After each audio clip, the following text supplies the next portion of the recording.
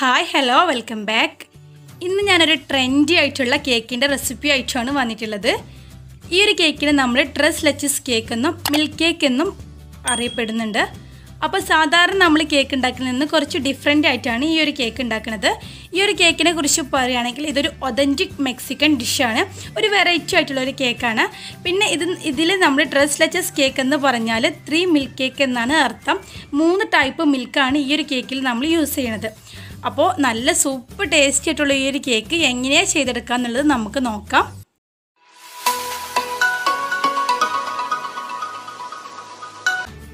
ആദ്യം നമ്മൾ സ്പോഞ്ച് കേക്കാണ് ഉണ്ടാക്കുന്നത് അപ്പോൾ അതിന് വേണ്ടിയുള്ള ഡ്രൈ ഇൻഗ്രീഡിയൻസ് എല്ലാം ഒന്ന് അരിച്ചെടുക്കാം. അപ്പോൾ ഞാൻ ഇവിടെ ഒരു മുക്കാൽ കപ്പ് മൈദയിലോട്ട് ഒരു ടീസ്പൂൺ കോൺഫ്ലവർ ചേർത്തിട്ടുണ്ട്. കോൺഫ്ലവറും മൈദയും കൂടെ മുക്കാൽ കപ്പാണ് എടുത്തിട്ടുള്ളത്. അതൊരു അരിപ്പയിലോട്ട് മാറ്റി കൊടുക്കാം. പിന്നെ കാൽ ടീസ്പൂൺ ബേക്കിംഗ് സോഡയും അര ടീസ്പൂൺ ബേക്കിംഗ് പൗഡറും ഒരു നുള്ളു ഉപ്പും കൂടെ ചേർത്തിട്ട് നന്നായിട്ടൊന്ന് അരിച്ചെടുക്കാം. ഒരു മൂന്നാൽ തവണ അരിച്ചെടുക്കുക. അരിച്ചതിന് ശേഷം ആ ഒരു ഡ്രൈ ഇൻഗ്രീഡിയൻസ് നന്നായിട്ടൊന്ന് മിക്സ് ആക്കി കൊടുക്കാം. ഇനി നമുക്കിതൊരു സൈഡിലോട്ട് മാറ്റി വെക്കാം.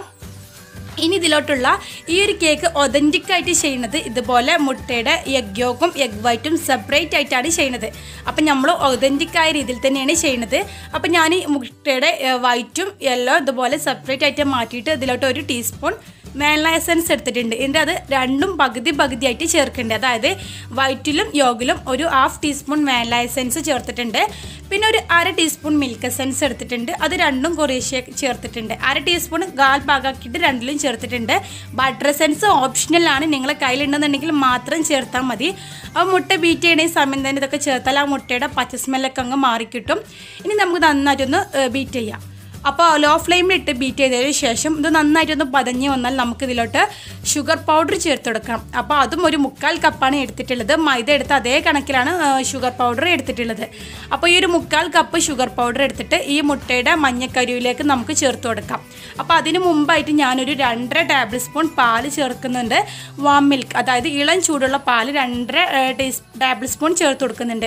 എന്നിട്ട് അത് നന്നായിട്ട് മിക്സ് ആക്കിയ ശേഷമാണ് നമ്മൾ ഷുഗർ പൗഡർ ആഡ് ചെയ്യേണ്ടത്. അപ്പോൾ മുക്കാൽ കപ്പ് ഷുഗർ പൗഡർ എടുത്തിട്ട് കുറേശ്ശെ കുറേശ്ശെ ആയിട്ട് നമ്മൾ ബീറ്റ് ചെയ്ത് കൊടുക്കുക. ഈ സമയം നല്ല ഹൈ ഫ്ലെയിമിലിട്ട് തന്നെ ബീറ്റ് ചെയ്യുക. ഫുൾ ഫ്ലെയിമിലിട്ട് തന്നെ ബീറ്റ് ചെയ്യുക. അപ്പോൾ അത് നന്നായിട്ട് ബീറ്റ് ചെയ്യുന്നുണ്ട്. ഇനി ഇതിന്റെ ഒരു വൈറ്റ് കളർ ആവുന്നത് വരെ നമുക്കൊന്ന് ബീറ്റ് ചെയ്ത് കൊടുക്കാം. അപ്പോൾ ഇങ്ങനെ ഇത് രണ്ടും സെപ്പറേറ്റ് ആയിട്ട് ബീറ്റ് ചെയ്യുമ്പോൾ നല്ല സോഫ്റ്റ് ആയിട്ടുള്ള കേക്ക് തന്നെ കിട്ടും. അപ്പോൾ ഇത് നന്നായിട്ട് ബീറ്റ് ചെയ്ത് കൊടുക്കുക. അങ്ങനെ ഇത് നന്നായിട്ട് ബീറ്റ് ചെയ്ത ശേഷം നമ്മൾ ഇതിലോട്ട് ഓയിൽ ചേർത്ത് കൊടുക്കണം. ഞാനിവിടെ രണ്ട് ടേബിൾ സ്പൂൺ ഓയിലാണ് എടുത്തിട്ടുള്ളത്. അതിൽ ഒരു ടേബിൾ സ്പൂൺ ബട്ടർ മെൽറ്റാക്കിയതും ഒരു ടേബിൾ സ്പൂൺ സൺഫ്ലവർ ഓയിലാണ് എടുത്തിട്ടുള്ളത്. ഇനി നമുക്ക് മുട്ടയുടെ വൈറ്റും ഒന്ന് ബീറ്റ് ചെയ്തെടുക്കാം. അപ്പോൾ ഇത് നന്നായിട്ട് തന്നെ നല്ല ഫ്ലഫി ആയി വരണ വരെ വൈറ്റും ബീറ്റ് ചെയ്ത് കൊടുക്കാം. അപ്പോൾ ഇത് അവിടെ നന്നായിട്ട് ബീറ്റ് ചെയ്തെടുത്തിട്ടുണ്ട്. ഇനി ആ മുട്ടയുടെ മഞ്ഞക്കരുവിലോട്ടൊട്ട് നമ്മൾ ഓയിൽ ചേർത്ത് കൊടുക്കേണ്ടത്. അതായത് ഒരു ടേബിൾ സ്പൂൺ ബട്ടർ മെൽറ്റ് ആക്കിയത് ഒരു ടേബിൾ സ്പൂൺ സൺഫ്ലവർ ഓയിലും ഇനി ജസ്റ്റ് ഒന്ന് മിക്സ് ആക്കിയാൽ മതി. ഓവർ മിക്സിങ് പാടില്ല. ഇനി അതിലോട്ട് നമ്മൾ അരിച്ചു മാറ്റിയിട്ടുള്ള ഡ്രൈ ഇൻഗ്രീഡിയൻസ് ചേർത്ത് കൊടുക്കുക അപ്പോൾ കട്ട് ആൻഡ് ഫോൾഡ് മെത്തേഡിലൂടെ കുറേശ്ശെ കുറേശ്ശെ ആയിട്ട് നമ്മൾ മിക്സ് ആക്കി കൊടുക്കുക. നല്ല സ്ലോ ആയിട്ട് തന്നെ മിക്സ് ആക്കുക. അപ്പോൾ ഞാനത് സ്പീഡിൽ കാണിച്ചു പോവുകയാണ് പക്ഷേ ചെയ്യണതൊക്കെ നല്ല സ്ലോ ആയിട്ടാണ് കേട്ടോ അതൊക്കെ നമ്മൾ ഡീറ്റെയിൽഡ് ആയിട്ട് ഓരോ കേക്കിലും കാണിച്ചിട്ടുണ്ട്. ഇനി നമ്മൾ ആ മുട്ടയുടെ വൈറ്റ് യോഗ ഇതിലോട്ട് മിക്സ് ആക്കി കൊടുക്കുക. വൈറ്റ് യോഗ മിക്സ് ആക്കുമ്പോൾ വളരെ പതുക്കെ വേണം മിക്സ് ആക്കാൻ. അപ്പോൾ നമ്മളിവിടെ സോസ് പാനിലാണ് ഈ ഒരു കേക്ക് ചെയ്യുന്നത്. അപ്പോൾ ഒരു പത്ത് മിനിറ്റ് നേരം ഞാൻ ബട്ടർ പേപ്പറൊക്കെ വെച്ചിട്ടൊന്ന് പ്രീ ഹീറ്റ് ചെയ്ത് വെച്ചിട്ടുണ്ടായിരുന്നു സോസ് പാന് അതിലോട്ട് ബാറ്റർ ഒഴിച്ചിട്ടുണ്ട്. ഒരു ഇരുപത്തഞ്ച് മുതൽ മുപ്പത് മിനിറ്റ് വരെ ബേക്ക് ചെയ്യാം. അപ്പോൾ മുപ്പത് മിനിറ്റിന് ശേഷം ഞാനിത് ഓപ്പൺ ആക്കി നോക്കിയിട്ടുണ്ട്. ഇനി ഒരു സ്ക്യൂർ കൊണ്ട് ജസ്റ്റ് ഒന്ന് കുത്തി നോക്കാം. അപ്പോൾ കണ്ടില്ല ഒട്ടും ബാറ്റർ ഒന്നും അതിലൊട്ടി പിടിച്ചിട്ടില്ല. കറക്റ്റായിട്ട് തന്നെ ബേക്കായി വന്നിട്ടുണ്ട്. ഇനി ഇത് ചൂടാറിയ ശേഷം നമുക്ക് ബട്ടർ പേപ്പറൊക്കെ റിമൂവ് ചെയ്യാം. അപ്പോൾ കേക്ക് നന്നായി ചൂടാറാൻ വേണ്ടി ഞാനിതുപോലെ ഒരു പാത്രത്തിലോട്ട് മാറ്റിയിട്ടുണ്ട്. നന്നായി ചൂടാറിയ ശേഷം മാത്രം ബട്ടർ പേപ്പർ നമുക്ക് റിമൂവ് ചെയ്യാം. ഇനി ഈ സമയം നമുക്ക് ഇതിലോട്ടുള്ള പാലിന്റെ സോസ് ഒന്ന് റെഡിയാക്കി എടുക്കുക അപ്പം ഞാനിവിടെ ഒന്നര കപ്പ് പാൽ എടുത്തിട്ട് നന്നായിട്ട് കുറുക്കിച്ച് കൊടുക്കുന്നുണ്ട്. ഇതൊരു ഒരു കപ്പാക്കി മാറ്റുണ്ട് അപ്പോൾ നന്നായിട്ട് കുറുക്കിച്ച് കൊടുത്തിട്ടുണ്ട് കേട്ടോ ഇനി അതൊന്ന് ചൂടാറിയ ശേഷം നമുക്ക് ആ പാലിനെ മിക്സ് റെഡിയാക്കാം അപ്പം നമ്മളിത് ഒരു കപ്പാക്കി എടുത്തിട്ടുണ്ട്.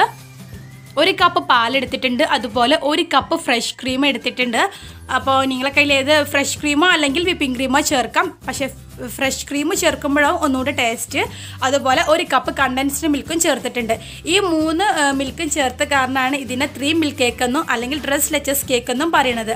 ഇനി ഇത് നന്നായിട്ടൊന്ന് മിക്സ് ആക്കി കൊടുക്കുക. ഈ ഒരു കേക്കിന്റെ ആണ് ഈ ഒരു പാലിന്റെ സോസ് അപ്പോൾ നന്നായിട്ട് മിക്സ് ആക്കിയിട്ടുണ്ട്. അപ്പോൾ ഇത് നന്നായിട്ട് മിക്സ് ആക്കി എടുത്തിട്ടുണ്ട്. ഇനി നമുക്ക് കേക്ക് ഒന്ന് അസംബിൾ ചെയ്യാം. അപ്പോൾ ഈ ഒരു കേക്ക് ഞാൻ പുറത്തോട്ട് സെയിൽ ചെയ്യാനുള്ളതായിരുന്നു. അതുപോലെ ഞാൻ ഇതുപോലെ ഒരു പാർസൽ ബോക്സിലായിട്ട് ആക്കിയിട്ടുണ്ട്. ഇനി ഒരു സ്ക്യൂവർ കൊണ്ട് നന്നായിട്ടൊന്ന് കുത്തി കൊടുക്കുക. കേക്ക് നന്നായിട്ടൊന്ന് കുത്തി കൊടുക്കുക. അല്ലാന്നുണ്ടെങ്കിൽ ഒരു ഫോർക്ക് ഉപയോഗിച്ചും ചെയ്യാം. അപ്പോൾ ഞാൻ രണ്ട് ഉപയോഗിച്ചും ചെയ്യുന്നുണ്ട്. അപ്പോൾ നമ്മൾ ഉണ്ടാക്കുമ്പോൾ ഈ ഒരു കേക്ക് ഇതുപോലെ നമ്മളെടുത്ത പാത്രത്തിന്റെ ഷേപ്പിൽ സ്പോഞ്ച് കേക്ക് ഉണ്ടാക്കാൻ ശ്രദ്ധിക്കുക കേട്ടോ. ഞാനിവിടെ സർക്കിളിലാണ് ഉണ്ടാക്കിയെടുത്തിട്ടുള്ളത്. പക്ഷേ എന്റെ ബോക്സ് ഇതുപോലെ ഈ ഒരു ചതുര ഷേപ്പിലായിരുന്നു നമ്മൾ ബോക്സ് ഇതുപോലെ സർക്കിൾ ഷേപ്പിൽ കിട്ടണമെങ്കിൽ നല്ല ഭംഗിയുണ്ടാവും കാണാൻ എങ്കിലും കുഴപ്പമില്ല. ഇനി നമ്മൾ ഉണ്ടാക്കിയിട്ടുള്ള ആ പാലിന്റെ സോസ് ഇതിലോട്ട് ഒഴിച്ചു കൊടുക്കാം. അപ്പോൾ നന്നായിട്ട് ഒഴിച്ചു കൊടുക്കുക. അപ്പോൾ നമ്മളിങ്ങനെ പെട്ടെന്ന് ഒഴിക്കുമ്പോൾ ചിലപ്പോൾ അത് പാലിന്റെ സോസ് അടിക്ക് ഇറങ്ങിയിട്ടില്ല എന്നുണ്ടെങ്കിൽ അത് ഇറങ്ങണ വരെ ഒന്ന് വെയിറ്റ് ചെയ്യുക. എന്റെ പെട്ടെന്ന് തന്നെ താഴ്ന്നു പോയിട്ടുണ്ടായിരുന്നു. അപ്പോൾ സോസ് കംപ്ലീറ്റ് ആയിട്ട് കേക്കിലോട്ട് ഒഴിച്ചു കൊടുക്കുക. അതിന് നമ്മൾ കുറച്ച് മാറ്റി വെക്കണം കേട്ടോ എന്താണെന്ന് വെച്ചാൽ നമ്മളിത് കേക്ക് കഴിക്കുന്ന സമയത്തിന്റെ മുകളിൽ കുറച്ച് ഒഴിക്കണം. അപ്പോൾ ഞാൻ വേണ്ടി കുറച്ച് മാറ്റിയിട്ടുണ്ട്. ബാക്കി ഫുൾ സോസ് ഇതിലോട്ട് ഒഴിച്ചു കൊടുക്കുകയാണ്. അപ്പോൾ ഇങ്ങനെ ഈ സോസ് ഒഴിക്കുമ്പോൾ നമ്മൾ എത്ര ഒഴിക്കുന്നു അത്രത്തോളം ആ കേക്ക് ഈ ഒരു സോസ് വലിച്ചു കുടിക്കുന്നതാണ് പറയണത്. പിന്നെ ഈ സോസ് കൂടുതൽ ഒഴിക്കുമ്പോഴും കൂടുതൽ ടേസ്റ്റ് ഉണ്ടാവും.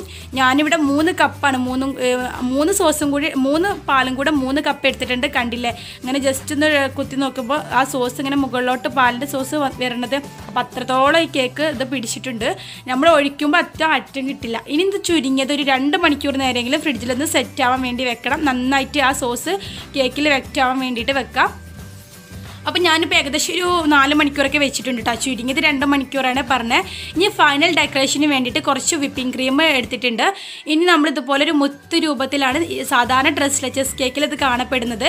നോസിലൊന്നും ഇല്ലാതെ പൈപ്പിംഗ് ബാഗ് ജസ്റ്റ് ഒന്ന് കട്ട് ചെയ്തിട്ട് ഇതുപോലെ ഒന്ന് മുത്ത് രൂപത്തിൽ നമ്മൾ ഒന്നുണ്ട് പ്രസ് ചെയ്തിട്ടൊന്ന് മുകളിലോട്ട് വലിക്കുക. ആ രൂപത്തിലുള്ള ഡെക്കറേഷനാണ് ചെയ്തിട്ടുള്ളത്. ഇനി കുറച്ച് പിസ്താശു നമുക്ക് ഇതിന്റെ മുകളിലോട്ടായിട്ട് വിതറി കൊടുക്കാം അപ്പോൾ പിന്നെ ഇതിലോട്ട് നമ്മൾ എടുക്കുന്നത് റോസ് പെറ്റൽസ് ആണ്. അപ്പോൾ അതിന്റെ ടേസ്റ്റ് എല്ലാവർക്കും ഇഷ്ടമില്ലാത്ത കാരണം ഞാൻ കുറച്ച് ചെറിയാണ് ഇട്ട് കൊടുത്തിട്ടുള്ളത്. ഇനി ഇതുപോലെ പാർസൽ ബോക്സിൽ നമ്മൾ കുറച്ച് സോസ് കൂടെ കൊടുത്തിട്ടുണ്ട്. ഈ കേക്ക് കഴിക്കുന്ന സമയത്ത് ഈ ഒരു സോസ് നമ്മൾ ഇതിന്റെ മുകളിൽ ഒഴിച്ചിട്ടാണ് കഴിക്കാറ്. അപ്പോൾ ഇത് പുറത്തേക്ക് സെയിൽ ചെയ്യാത്ത കാരണമാണ് ഞാനത് കാണിക്കണില്ല. അപ്പോൾ ഞാൻ പിന്നീട് ഒരു ദിവസം അത് എങ്ങനെ കഴിക്കുക എന്നുള്ളത് കാണിച്ചു തരാം കേട്ടോ അപ്പോൾ നല്ല അടിപൊളി ടേസ്റ്റ് ആയിട്ടുള്ളൊരു കേക്കാണിത് വായിലിട്ടാൽ അലിഞ്ഞു പോകും വിധത്തിലൊരു കേക്ക് തന്നെയാണ്. നല്ല സൂപ്പർ ടേസ്റ്റിയാണ് ഇപ്പോൾ ട്രെൻഡായി മാറിയിട്ടുള്ളൊരു കേക്ക് കൂടെയാണിത്. എല്ലാവരും ട്രൈ ചെയ്യുന്ന വിശ്വസിക്കുന്നു. അതുപോലെ നിങ്ങൾക്ക് ഈ വീഡിയോ ഇഷ്ടമായിട്ടുണ്ടെന്നുണ്ടെങ്കിൽ നിങ്ങളുടെ ഫ്രണ്ട്സ് ആൻഡ് ഫാമിലിയുമായൊക്കെ ഒന്ന് ഷെയർ ചെയ്ത് കൊടുക്കുക. പിന്നെ നമ്മുടെ പ്രീവിയസ് വീഡിയോസൊക്കെ കാണുക. അതുപോലെ വല്ല ഡൗട്ട് ഉണ്ടെന്നുണ്ടെങ്കിൽ നിങ്ങൾ കമന്റിലൂടെ ചോദിക്കുക അതുപോലെ നമ്മുടെ ചാനൽ ആരെങ്കിലും ഇതുവരെ സബ്സ്ക്രൈബ് ചെയ്യാത്ത കാണുന്ന കൂട്ടുകാരുണ്ടെങ്കിൽ നിങ്ങൾക്ക് ഈ ചാനൽ ഇഷ്ടമാവുണ്ടെങ്കിൽ പ്ലീസ് ഒന്ന് സബ്സ്ക്രൈബ് ചെയ്ത് സപ്പോർട്ട് ചെയ്യണേ. സബ്സ്ക്രൈബ് ചെയ്യുമ്പോൾ അതിന് തൊട്ടടുത്തൊരു ബെല്ലൈക്കൺ വരും. അതിൽ ഓൾ എന്ന ഓപ്ഷൻ കൂടെ പ്രസ് ചെയ്താൽ ഞാൻ പുതിയ പുതിയ വീഡിയോകൾ ഇടുമ്പോൾ നിങ്ങൾക്ക് കറക്റ്റായിട്ട് തന്നെ നോട്ടിഫിക്കേഷൻ ലഭിക്കുന്നതാണ്. അപ്പോൾ ഇനിയും ഇതുപോലെ നല്ലൊരു വീഡിയോമായി വരുന്നവരേക്കും ബ ബൈ താങ്ക്സ് ഫോർ വാച്ചിങ്